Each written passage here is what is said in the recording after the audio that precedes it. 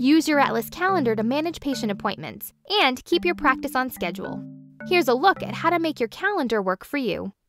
Create a new appointment. To add a new event or appointment to your calendar, click the plus sign icon in the upper right corner of the calendar page. Select the date of the appointment, choose a specific time, add a patient's name, and enter a description. If you associate the appointment with a patient, you can notify them via email if you want.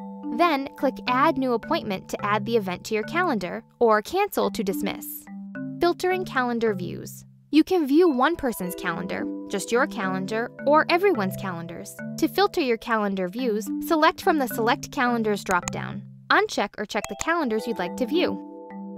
Changing the color of your calendar. You can change the color of your calendar by going to your profile, which is accessible from the sidebar. Click Edit Profile, then click the current color, and select from the resulting list of options. Changing the default appointment length for your clinic. If your patient appointments don't always run the standard 30 minutes, Atlas will adjust right along with you.